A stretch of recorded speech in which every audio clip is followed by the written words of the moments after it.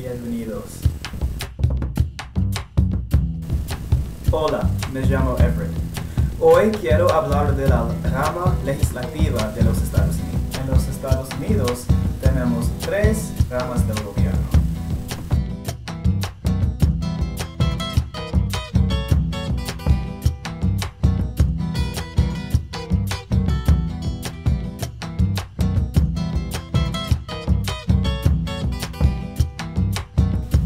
La rama legislativa crea las leyes y es bicameral.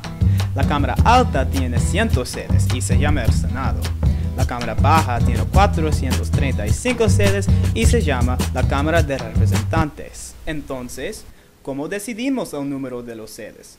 Bueno, hay 50 estados y cada estado da dos senados por ciento en total. Todos los estados son igual. Pero representación no es igual en la Cámara de Representantes. Representación depende de población. Entonces, hay distritos de 600 mil personas más o menos. Cada estado tiene estos distritos. Entonces, más personas da más representación. Por muchos años ha habido discusión de representación. Este sistema trabaja bien para representación del público pero hay debate de si los distritos son justos.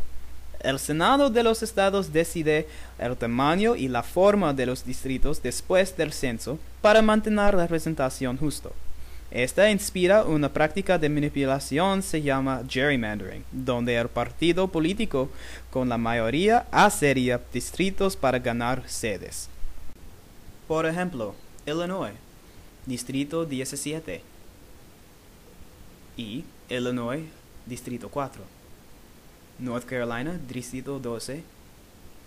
Arizona, Distrito 2. Y Florida, Distrito 19. Bueno, gracias por tu atención y espero que me den tu opinión. Hasta luego.